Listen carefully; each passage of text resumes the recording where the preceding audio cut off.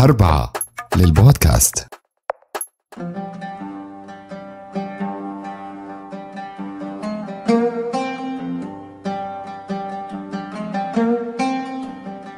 لو تكلمت عن نفسها لقالت أنا مدينة عالمية للثقافة والسياحة والإعلام والعلوم مدينة الفن والفنانين تم تعييني منطقة مخصصة للفن والآثار بموجب مرسوم ملكي. ومنحتني اليونسكو لقب مدينة التصميم وأصبحت جزءا من شبكة المدن المبدعة منذ ذلك الحين. استحققت المركز السادس وفقا لمونوكول والمرتبة الثالثة عشر وفقا لميرسر لأكثر المدن ملائمة للعيش في العالم. صنفتني وحدة الاستخبارات الاقتصادية في المرتبة الواحدة والعشرين من بين جميع مدن العالم واحتللت المرتبة الثامنة في مؤشر مدينة الطاقة العالمية. أتمتع بأفضل الآفاق المستقبلية بين أكبر ثلاثين مدينة ألمانية. قال عني هانز فالتر رئيس شركة بيرنبرغ: لقد تطورت برلين لتصبح واحدة من أكثر المدن ديناميكية في ألمانيا. وكيف لا أتطور يا هانز وأنا برلين المدينة المضيئة أهلا وسهلا بكم مستمعي برنامج تاريخ على الهامش من إنتاج شبكة أربعة معكم أنا مريم محمد وحلقتنا اليوم تتكلم عن برلين. خلينا نسلط عليها الضوء قليلا ونجوب أرجائها ونستكشفها أكثر ونعرف القليل من تاريخها المخفي. ولماذا استحقت كل هذه المزايا؟ يلا ننطلق.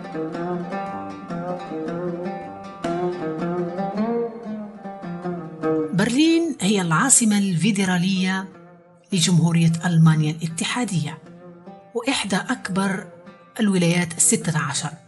وأكبر المدن من حيث عدد السكان حيث بلغ عددهم حوالي 3.6 مليون نسمة.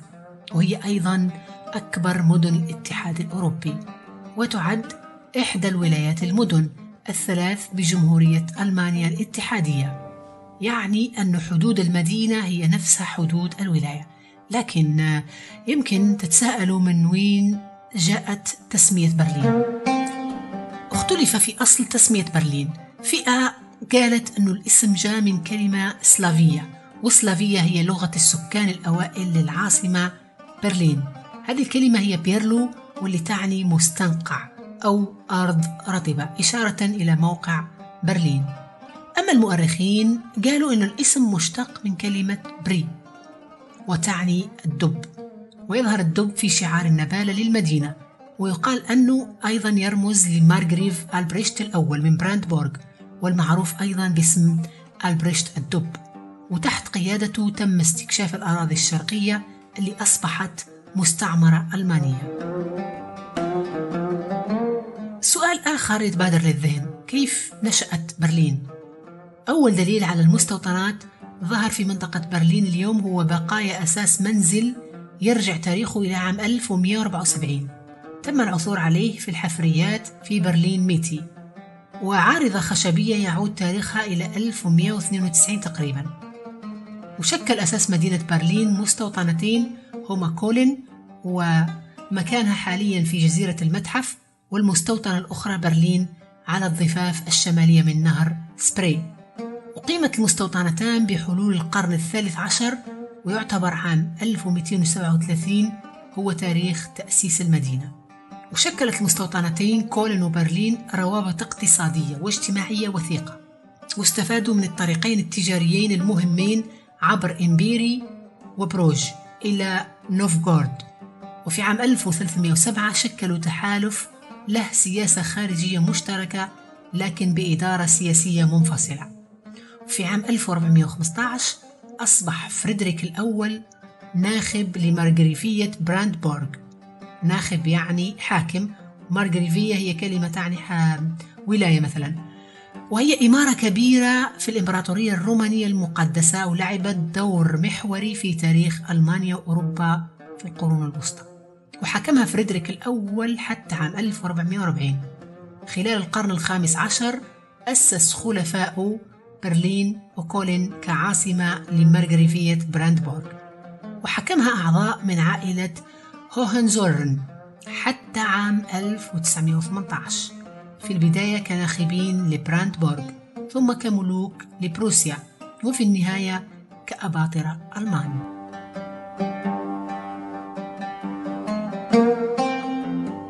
خلونا نروح لعام 1443 في هذا العام بدأ فريدريك الثاني آيرون توث بناء قصر ملكي جديد في المدينة توأم برلين كولن. لكن تعرض للاحتجاج من قبل المواطنين وبلغ احتجاجهم ذروته عام 1448 فيما يسمى بسخط برلين. ومثل ما نقول كأنك يا أبو زيد ما غزيت. ما نجح هذا الاحتجاج ولا أثمر بشيء. على العكس فقد المواطنين الكثير من الامتيازات السياسية والاقتصادية. واستخدم قصر برلين كمقر لناخبي براندبورغ. أما في يومنا الحالي أعيد بناؤه وأصبح منتدى هومبولت وهو متحف للثقافة العالمية ومتحف لاحق لغرفة الفنون البروسية القديمة الموجودة في القصر خلال القرن التاسع عشر ووصف المنتدى بأنه المعادل الألماني للمتحف البريطاني.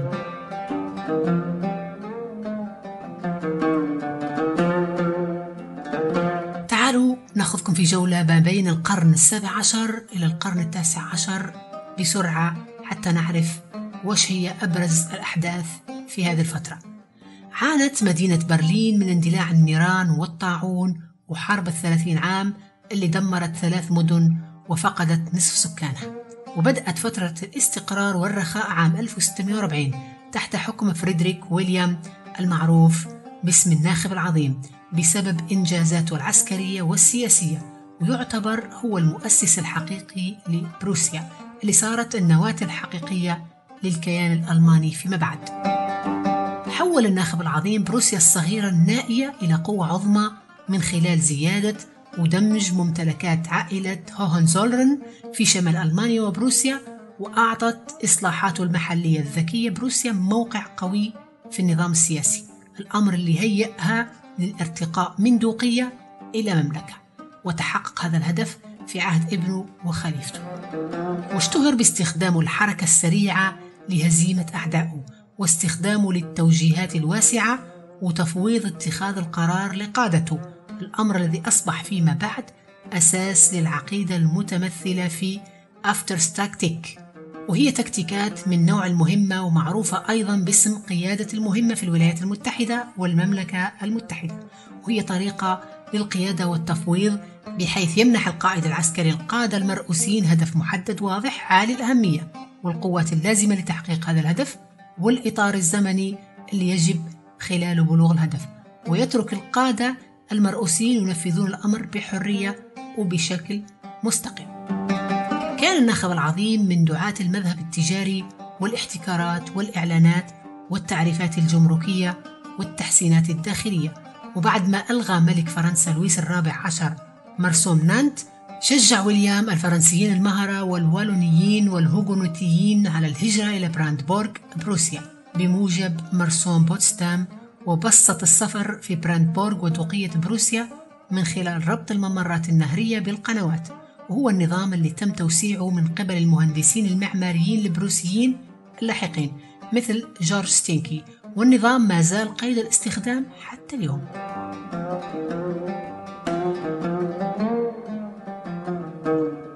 أكبر الداعمين لهذا الرجل زوجته لويز هنرييت ومن بعدها صوفي دورثيا وجد في كلتا المرأتين الواثقتين مستشارين سياسيين يفكرون ويتصرفون بشكل عملي. في عام 1740 وصل فريدريك الثاني المعروف باسم فريدريك الكبير إلى السلطة. وتحت حكمه صارت برلين مركز لعصر التنوير. ولكنها أيضا احتلت لفترة وجيزة خلال حرب السنوات السبع من قبل الجيش الروسي. وفي سنة 1806 إلى سنة 1808 تم احتلال برلين من قبل قوات نابليون بونابرت. وعقب معركة الأمم في ليبزيغ سنة 1814 تمت إعادة تمثال الكوادريجا وهو عبارة عن عربة تجرها أربع خيول أزالها نابليون من قمة بوابة براندبورغ فترة احتلاله للمدينة وأخذها لباريس للتعبير عن نصره. غيرت الثورة الصناعية برلين خلال القرن التاسع عشر. توسع اقتصاد المدينة وزاد عدد سكانها بشكل كبير وصارت مركز السكك الحديدية الرئيس والمركز الاقتصادي لألمانيا. وسرعان ما تطورت ضواحي إضافية وزادت مساحة برلين. وأخيرا في عام 1871 صارت برلين عاصمة الإمبراطورية الألمانية. وفي عام 1881 صارت مدينة منفصلة عن براندبورغ. عزيزي المستمع هل سمعت من قبل بأشعة رونتجن؟ نراهنك أنك سمعت وأنا أيضا سمعت لكن اسمها اللي نعرفه هو الأشعة السينية والتي تستخدم في مجموعة من المجالات خاصة الطب. تم اكتشافها في عام 1895 على يد فيلهلم كونراد رونتجن وهو مهندس وفيزيائي ألماني الجنسية. اكتشف هذه الأشعة ودرس كثير من خصائصها. والاكتشاف هذا فتح آفاق كبيرة في مجالي الطب والفيزياء في العالم أجمع حصل رونتجن على العديد من الجوائز التقديرية لعمله بما في ذلك جائزة نوبل الأولى بالفيزياء عام 1901 ومع ذلك ظل متواضع وما حاول أبدا تسجيل براءة اختراع أي من اكتشافاته بدعوى أن الاكتشافات والابتكارات ملك لجميع الناس. الله يكثر من أمثال هذا العالم.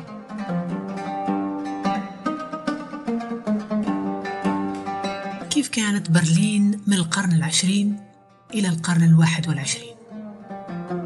تسببت الهزيمة الثقيلة اللي لحقت ألمانيا في الحرب العالمية الأولى في اندلاع أزمة خطيرة لكل من ألمانيا وبرلين. ونتج عنها تأسيس أول جمهورية ألمانية من قبل فيليب شيدمان في مبنى الرايخستاغ في عام 1920 دمج قانون برلين الكبرى العشرات من مدن الضواحي والقرى والعقارات المحيطة ببرلين في مدينة موسعة. وزاد القانون مساحة برلين من 66 إلى 883 كيلومتر. على الرغم من الصعوبات الاقتصادية والاضطراب المدني في حقبة العشرينات إلا أن برلين شهدت ذروتها كعاصمة عالمية كبرى وكانت معروفة بأدوارها القيادية في العلوم والتكنولوجيا والفنون والعلوم الإنسانية وتخطيط المدن والأفلام والتعليم العالي والحكومة والصناعات.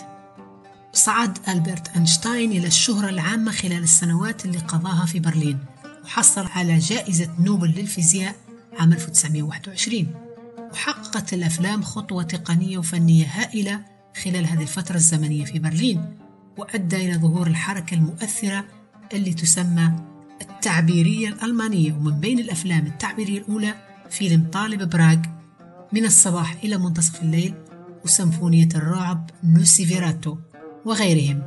أيضا أصبحت الأفلام الصوتية أكثر شعبية لدى عامة الناس في جميع أنحاء أوروبا. وكانت برلين تنتج العديد منها. تطورت الكثير من المجالات والفنون مثل الرسم والموسيقى والنقد اللي برز فيه والتر بنيامين والفلسفة وعلم النفس اللي برز فيه كارل يونغ الطبيب والمحلل النفسي اللي أسس علم النفس التحليلي.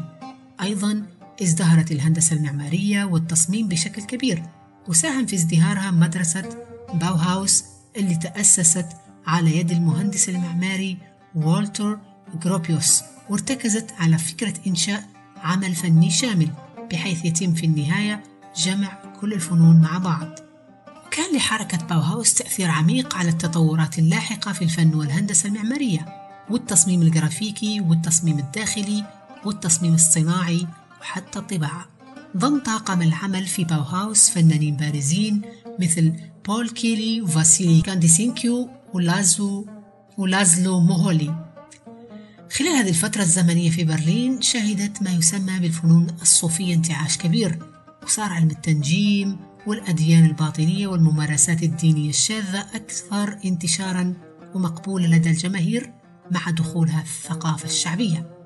أثبتت برلين في عشرينيات القرن الماضي أنها ملاذ للكتاب الإنجليز مثل دبليو إتش أودن وستيفن سباندر وكريستوفر إيشروود اللي كتب سلسلة من روايات برلين. وتتكون من روايات السيد نوريس يغير القطارات ووداعا لبرلين.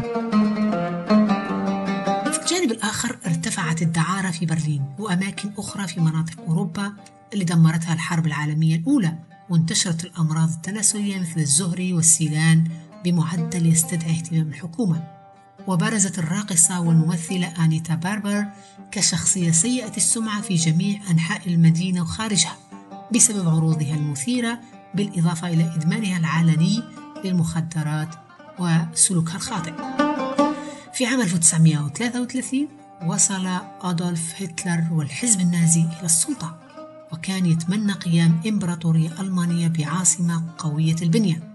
فشرع في البناء في برلين كوسيلة للتعبير عن قوته وسلطته من خلال الهندسة المعمارية وبدأ برنامج اعتقالات ضد اليهود والشيوعيين والشواذ جنسيا والمعارضين السياسيين وغيرهم.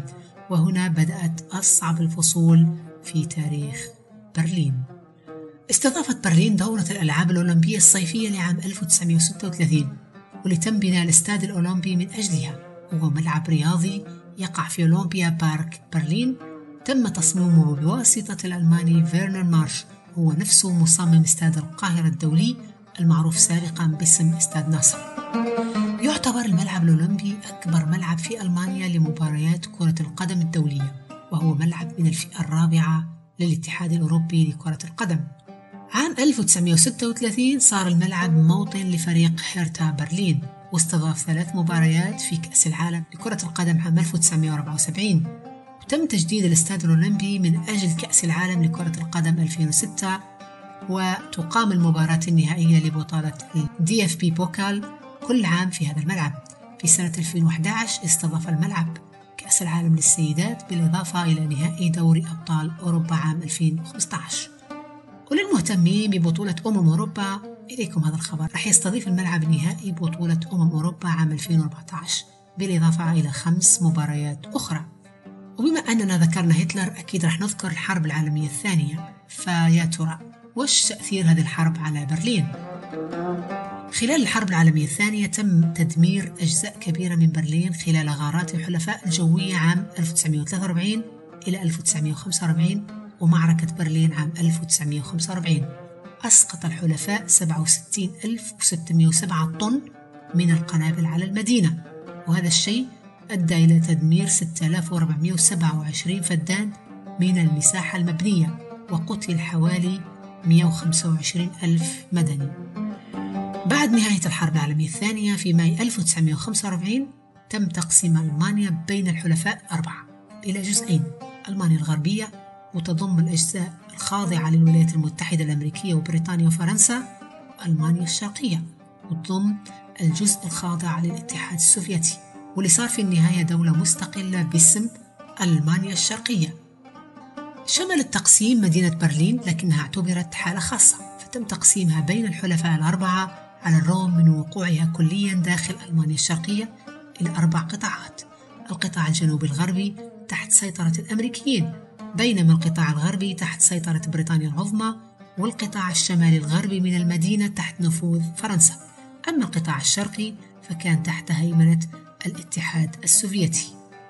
ومن أجل هذا التقسيم كان لابد أنهم يتفقوا على تحديد ممرات برية وجوية تربط قطاعات برلين الغربية بألمانيا الغربية ثم بالعالم الغربي. هذا الوضع أدى إلى تعقيدات كثيرة في الفترة اللي تلت الحرب وقامت ألمانيا الشرقية عدة مرات بقطع بعض الممرات وإحداث حصار بري لبرلين الغربية كان هدفه الأساسي إيقاف هروب الألمان الشرقيين إلى الدول الغربية. وحتى تحقق هذا الهدف بكفاءة أكثر بنت حكومة ألمانيا الشرقية جدار برلين. فصار من المستحيل على المقيمين في برلين الشرقية السفر إلى ألمانيا الغربية. تعالت الكثير من الأصوات المناهضة لإنشاء الجدار. وبعد زيارة قام بها الرئيس الأمريكي جون كينيدي لبرلين عام 1963 سمحت حكومة ألمانيا الشرقية بإدخال برنامج محدود لمنح الإذن بالسفر. مع نهاية الحرب الباردة سنة 1989 والضغط من سكان ألمانيا الشرقية سقط جدار برلين في 9 نوفمبر. وبعدها تم هدم معظمه. فاحتفلت برلين واحتفلت ألمانيا بأسرها وصار بإمكان مواطني الجمهورية الألمانية الديمقراطية السفر بحرية. اليوم يحتفظ معرض الجانب الشرقي بجزء كبير من الجدار ويعتبر من المعالم السياحية اللي تكشف لنا صورة حية عن انهيار الدولة بعد الحرب العالمية الثانية وظل هذا الجدار صامد على مدار ما يفوق 28 عام. تطورت الأحداث بشكل إيجابي وانتهت بإعلان إعادة توحيد ألمانيا في أكتوبر سنة 1990 وصارت ألمانيا دولة تدير شؤونها حكومة واحدة وتتخذ من مدينة برلين عاصمة رسمية. ومن الجدير أن نشير إلى تلة تويفلسبرغ أو جبل الشيطان. وهي أعلى تلال برلين واللي يميزها بنائها من أنقاض المباني اللي دمرتها الحرب العالمية الثانية. استخدمها الجيش الأمريكي كمحطة للتنصت على اتصالات السوفييت ودول حلف وارسو إبان الحرب الباردة. واليوم هي منطقة مفتوحة للتنزه وممارسة أنشطة مختلفة. ولكون برلين العاصمة التاريخية لألمانيا على مر العصور والحكام أصبحت أكثر مدن ألمانيا ثراء بالثقافة والمعالم التاريخية. أشهر هذه المعالم مبنى الرايخستاغ كاتدرائية برلين برج برلين التلفزيوني اللي يعد أطول مبنى في ألمانيا قصر شارلوتنبرغ والقصر الرئاسي بيلفو وعمود النصر. تخيلوا أن عمود النصر المعلم التاريخي تعرض للتخريب والسرقة من قبل مجهولين حيث قال تقرير الشرطة الصادر في 21 أغسطس 2021 أن عمال الصيانة لاحظوا اختفاء صفائح نحاسية من على سقف ثلاثة من أصل أربعة مداخل للنصب التذكاري فأبلغوا الجهات الأمنية اللي باشرت بالتحقيق في الحادث الخطير. اعتقد أن اللصوص سرقوا الصفائح في جنح الظلام وقال متحدث باسم الشرطة أن الأضرار المادية وحدها جسيمة لكن الأضرار التاريخية لا تقدر بثمن. وبما أننا تحدثنا عن أشهر المعالم فبالتأكيد ما راح نغفل ذكر بوابة براندبورغ التاريخية العريقة اللي تحكي لنا عن تاريخ برلين وقوة الدولة ووحدتها في إيجاز. وتتألف البوابة من ستة أعمدة شاهقة الارتفاع مصنوعة من الحجر الرملي وتتميز بتصميمها الكلاسيكي الفريد وتمثال الكوادريجا اللي أكسبها مزيد من التألق. صمم كارل فون جونتارد الجهة المطلة على المدينة كواجهة مزخرفة على الطراز الكورنثي. وصمم تلميذه جورج كريستيان أونجر الجانب المطل على الحقل أو الريف على نمط قوس قسطنطين. مع أعمدة كورنثية مزدوجة وزخارف كالأبواق الذهبية فأصبحت البوابة بواجهتين مختلفتين تماما. تعد برلين موطن لثلاث مواقع للتراث العالمي وهي جزيرة المتاحف قصور ومتنزهات بوتستام وبرلين والعقارات السكنية الحديثة. برلين مدينة صناعية يعتمد اقتصادها على شركات التكنولوجيا الفائقة وقطاع الخدمات. اللي يشمل مجموعة متنوعة من الصناعات الإبداعية والشركات الناشئة ومرافق البحث وشركات الإعلام وأماكن المؤتمرات وتعتبر بمثابة مركز قاري لحركة الطيران والسكك الحديدية وعندها شبكة مواصلات عامة معقدة جدا. ويعرف الألمان بالكفاءة والالتزام بالمواعيد وينطبق هذا بشكل عام على نظام النقل الفعال والحيوي مع القطارات والترام والحافلات اللي تعمل على مدار 24 ساعة. فلو كنت راح تسافر لبرلين لا تهتم بالنقل أبدا ولا تقلق بشأن النقل. تتميز هذه المدينة بأنها موطن لجامعات ذات شهرة عالمية مثل جامعة هومبولت المعروف أيضا باسم جامعة برلين. تم إنشائها عام 1809 وكذلك هي أعرق جامعات المدينة وجامعة برلين الحرة تمثل أكبر الجامعات في المدينة. وفي كثير من المؤسسات التعليم العالي مثل أكاديمية الفنون ومعهد الفنون التطبيقية والجامعة التقنية بالإضافة إلى المكتبات العامة الضخمة مثل المكتبة الأمريكية اللي تحوي حوالي مليون كتاب. وفيها ما يقارب ال 138 متحف وأكثر من 400 معرض فني وعدة تور للأوبرا وفرق أوركسترا خاصة بها مثل أوبرا الدولة. تعتبر البرية في برلين من أكبر الأماكن في العالم. وطبيعة برلين جنة الله على الأرض. ولو راح نتكلم عن السينما فبرلين أهل لهذا المجال وبجدارة. فهي مركز أساسي لصناعة السينما الأوروبية والألمانية. وموطن لأكثر من ألف شركة إنتاج سينمائي وتلفزيوني و270 دار سينما. فيها استوديو بابلسبيرغ ثاني أقدم استوديو أفلام واسع النطاق في العالم وأكبر استوديو أفلام في أوروبا. ووفقا لمكتب الإحصاء الفيدرالي الألماني برلين ثاني أعلى ولاية في معدل البطالة بنسبة 10.7% واللي زاد هذا المعدل هجرة اللاجئين الأوكرانيين تعتبر برلين بشكل عام مدينة آمنة للغاية ولكنها مثل أي مدينة أخرى حول العالم تحتاج منك الاهتمام بمقتنياتك الشخصية حتى لا تتعرض للسرقة من قبل النشالين اللي ينتشروا بشكل كبير حول محاور النقل الرئيسية. بين جنبات برلين ما زال هناك الكثير وحقيقة تستحق الزيارة واكتشافها عن قرب. حطوها ضمن خطط السفر القادمة والأهم لا تنسوا تشاركوا المدينة بعدستكم. قال الحاكم العظيم فريدريك ويليام المقولة الحربية الشهيرة: إن الشخص الذي يسعى للدفاع عن كل شيء لن يستطيع الدفاع عن أي شيء. ما رأيك بهذه المقولة؟ هل تتفق معها خاصة في ظل الأحداث الدائرة في العالم؟ أم أنه لك وجهة نظر أخرى؟ وهل تعتقد أنها قيلت بغير معناها الظاهر؟ كنت معكم أنا مريم محمد في حلقة من إعداد نورة حمزة تدقيق حلا البكري وفي المونتاج والهندسة الصوتية خالد عبد العزيز شاركنا اقتراحاتك في البريد الإلكتروني الموجود في الوصف ولا تنسى تشارك الحلقة مع أصدقائك في أمان الله